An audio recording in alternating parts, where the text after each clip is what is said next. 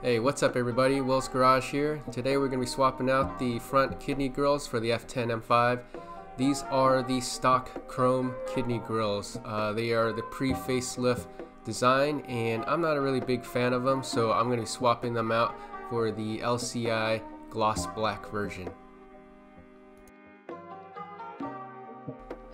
Normally you would need to pop the hood and remove a few screws to get behind the front bumper and uh, use a flathead screwdriver to pop the kidney grills off.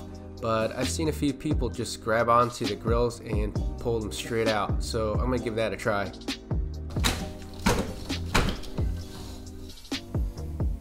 So what I discovered is it's not very easy to pull it straight out.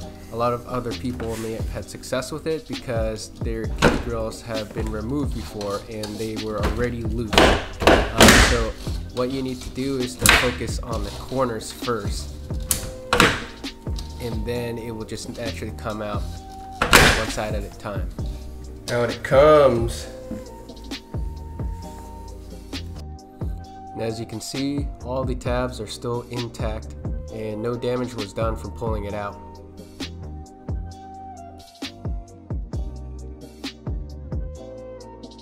Now let's put the new one in. All you have to do is line up the tabs with the holes in the bumper and snap them in one at a time.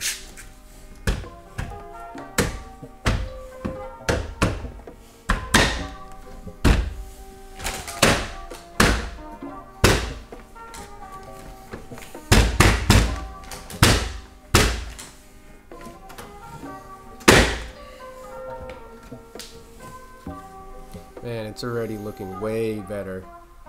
Now let's do the other side. Second slap coming right up.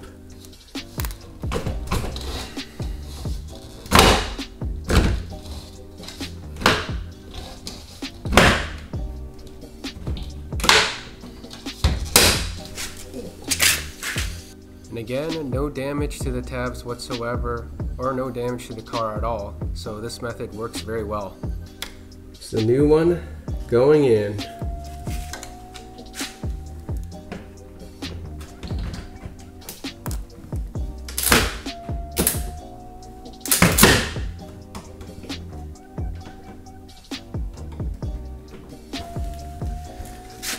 There you go, as simple as that. This looks so much better in my opinion. Let's take it out in the sun and check it out. So what do you guys think? Let me know in the comment section. If you like this video, please give it a thumbs up and hit the subscribe button. Be on the lookout for more updates on the F10 M5. See you guys.